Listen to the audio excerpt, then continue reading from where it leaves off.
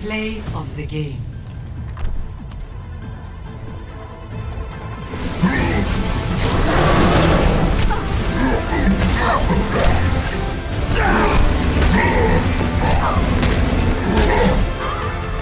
Double kill.